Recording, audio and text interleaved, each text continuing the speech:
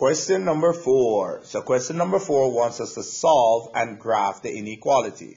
So when we're solving this, guys, the aim is to get x all by itself.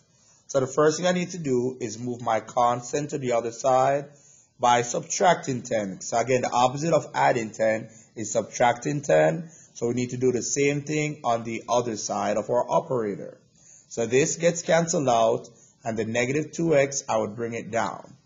Our greater than sign, I would bring it down also, okay? Here we'll calculate 4 minus 10 is negative 6, okay?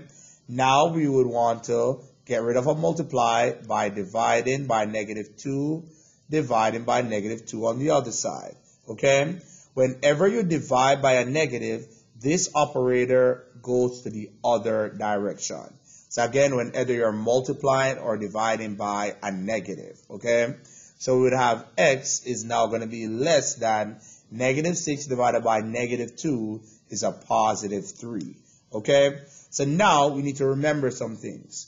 Whenever we have a greater than or less than sign, when there's no line underneath, that means it's going to be an open circle. Whenever we have a greater than or equal to or less than or equal to, that means it's going to be a closed circle. Okay? So on my number line, I'm going to look for the number 3. So again, on my number line, I'm going to look for the number 3, which is right here in between 2 and 4. And I'm going to have what type of circle? An open circle because there's no line underneath. There's no or equal to. And this is like an arrow and it's pointing to the direction that you're going. All right. So it's pointing to the left because it's saying that X is less than three. All the numbers smaller than three are numbers like two, zero, negative one, numbers to the left. All right.